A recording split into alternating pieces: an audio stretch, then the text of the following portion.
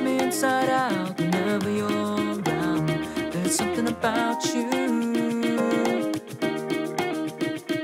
Speeding through my veins until we hit the ground. There's something about this. El mundo del deporte en Aragón ha contado a lo largo de su historia con relevantes sagas familiares. En diferentes disciplinas y en diferentes épocas, estas sagas nos han dado grandes alegrías a los aficionados al deporte. En ocasiones obra del azar y en otras de la genética, lo cierto es que el mundo del deporte pues eh, abundan eh, las parejas de hermanos que han conseguido destacar y llegar a la élite de sus respectivas disciplinas. Es muy curioso, pero hay tres parejas de hermanos que han jugado juntos en la misma alineación en el Real Zaragoza, en el primer equipo. Primero los hermanos La Petra, Ricardo y Carlos. Después los hermanos Planas, de Almudévar. Primero llegó Miguel, después Javier. Luego está también el caso de José Luis y José María Violeta. Todos conocemos a José Luis, uno de los estandartes del, del, club. Y José María, su hermano, llegó a jugar con el Córdoba en primera división y después estuvo en otros equipos en segunda, pero también fue futbolista profesional. Eh, también tenemos otros, los López Ubero, David López Ubero y Martín o Martín, que decían López Ubero.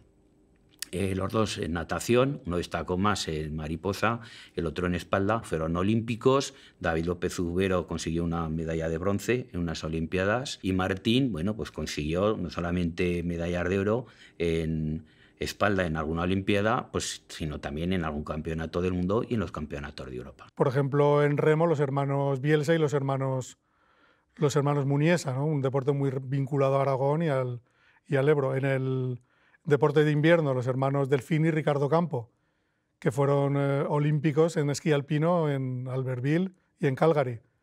Los hermanos García en atletismo, Carlos y Roberto, ambos olímpicos en 2004 en Atenas. Hoy en día, pues quizá, bueno, pues hablar de hermanos, hermanas deportistas que estén así más en candelero, pues tenemos a las hermanas Sánchez Alayeto, eh, Majo y Mapi, María José y María Pilar, pues que, que, han estado hasta hace bien poco, eran las números uno del mundo, también han conseguido prácticamente en Padel, pues casi todo lo que se puede conseguir. El baloncesto ha tenido varias, eh, varias parejas, Herminio y Juan Antonio San Epifanio, que empezaron a jugar en Zaragoza. Juan Antonio ha sido uno de los grandes referentes del baloncesto del baloncesto europeo. En el baloncesto también los Angulo. Los hermanos Angulo, Lucio y Alberto Angulo, los dos en el, en el CAI Zaragoza. Eh, los dos también pues con un montón de internacionalidades. Alberto prácticamente rozó las 100 internacionalidades con España y Lucio pues también alrededor de, de las 50.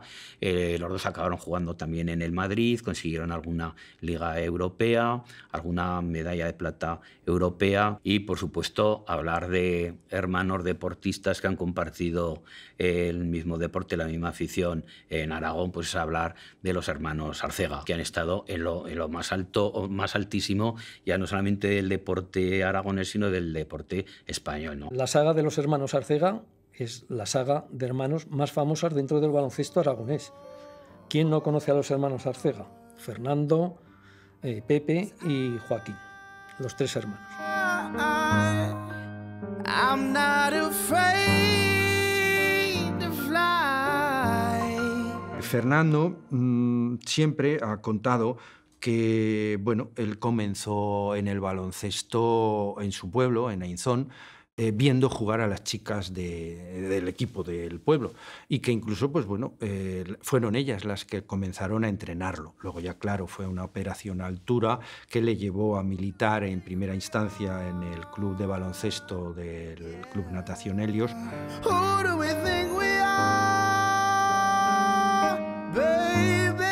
Tell me who do you think Fernando Arcega, que en, la época que estábamos nosotros en el Helios School, pues era un, jugador, mm, vamos, delgadísimo. Ya empezó a coger cuerpo, cogió también mucha, mucha técnica, empezó de pívot, después se recicló hacia, hacia el alero y tuvo la habilidad de reciclarse. Eso es, eso es a base de trabajo, a base de constancia y a base de fe, de creer en lo que estaba entrenando. De hecho, cuando iba a la selección, Antonio de Miguel lo obtenía de, de comodín. Fallaba un pívot, Fernando Arcega a jugar al pívot. Fallaba un alero, Fernando a jugar al pívot. Y él tenía que entrenar todos los días los mismos los movimientos de los pivos y de los aleros.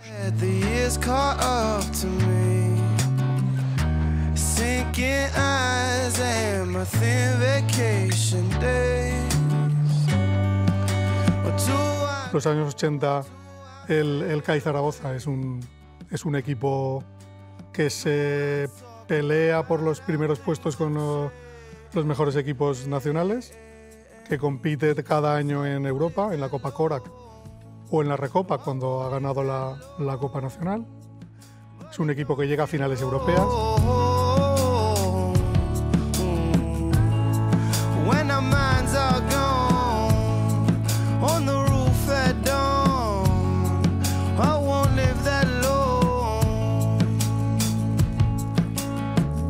Digamos que el palmarés de Fernando es difícilmente igualable.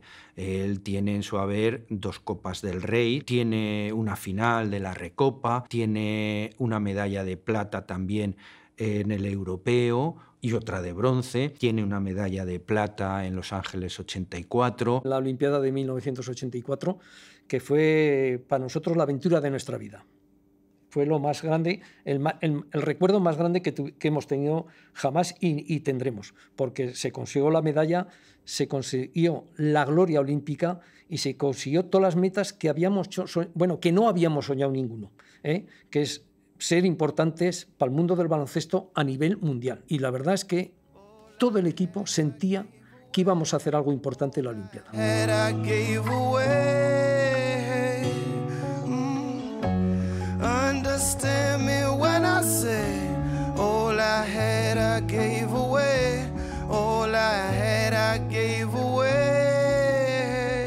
Y su hermano José Ángel Arcega, Pepe Arcega, que pues bueno, también pues en el puesto de base pues también consiguió eh, un montón de internacionalidades. Quizá, pues bueno, eh, yo creo que marcó un hito en el número, por ejemplo, de recuperaciones de balón. Eh, era un jugador rápido y yo lo recuerdo sobre todo como un defensa absolutamente castigador, muy difícil de evitar su marcaje.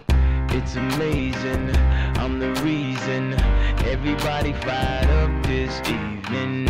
I'm exhausted, barely breathing, holding on to what I believe in. No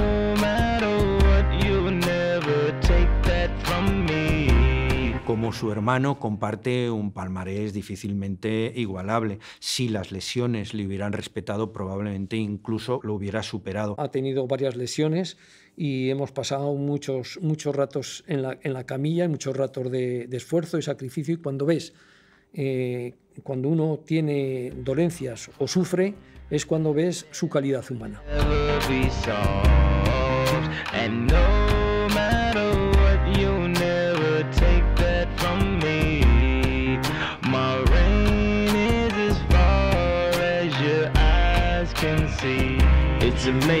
Joaquín, el tercer hermano en Liza, eh, es un base mucho más físico. Lo cierto es que no tuvo la suerte de llegar en esos años dorados de los 80 al equipo del CAI Zaragoza y no pudo seguir la estela de sus hermanos.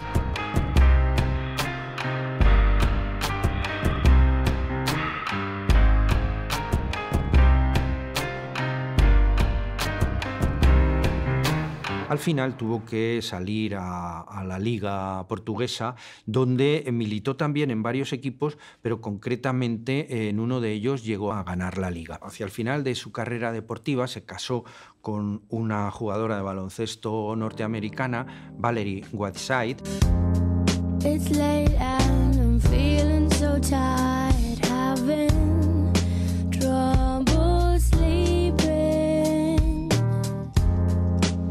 Tuvieron o han tenido un hijo que ha seguido un poco la senda deportiva de sus padres, era un buen jugador de baloncesto, pero al final donde ha triunfado es en el difícil mundo, y muy importante en Estados Unidos, del fútbol americano, donde curiosamente también el hombre, cuando juegan los jugadores, se ponen un pañuelo a la cabeza para salvarse de la protección del casco y el sudor, y lo que se pone el hijo de Joaquín es un cachirulo, lo cual nos honra.